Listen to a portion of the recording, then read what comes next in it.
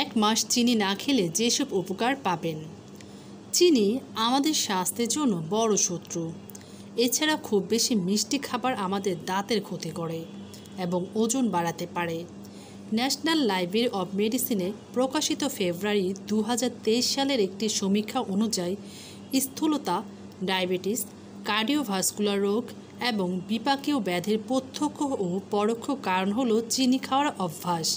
তাই cookies pastry brownie, cake, ice cream, donut এবং toffee দূরে রাখা একটি বুদ্ধিমানের কাজ। চিনি এড়িয়ে চলা মুখের স্বাস্থ্যের উন্নতি ঘটাতে পারে এবং গহ্বর এবং মাড়ির রোগের ঝুঁকি হ্রাস করতে পারে। এছাড়াও আমরা চা কিংবা বিভিন্ন পানীয় পান করি, যাতে কম পরিমাণে হলেও চিনি থাকে। আমাদের শরীর কোনো না কোনোভাবে চিনি খুঁজে নেয়। আচ্ছা তিরিশ দিন বা এক মাস চিনি ছাড়া চললে কেমন হয়? চায়ে চিনি না খেলে আপনি দ্রুত ওজন কমাতে পারবেন।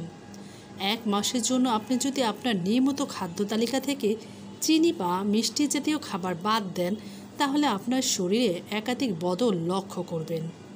চলুন জেনে নেই এক মাস চিনি না খেলে কী কী উপকার পাবেন।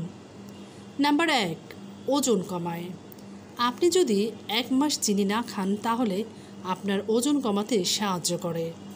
এছাড়া চিনিযুক্ত খাবার না খেলে অতিরিক্ত খাওয়ার সম্ভাবনা হ্রাস করে। নাম্বার দুই, রক্তে শর্করার মাত্রা উন্নত।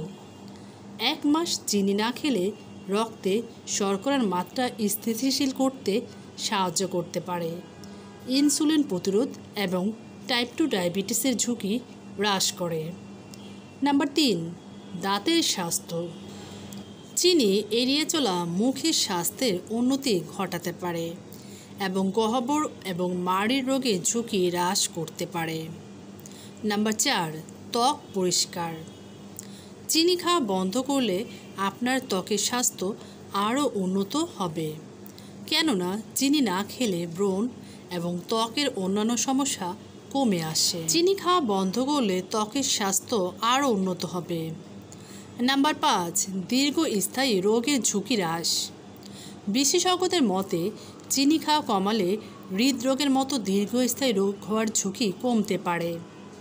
নাম্বার ছয়, স্বাস্থ্যকর অন্ত।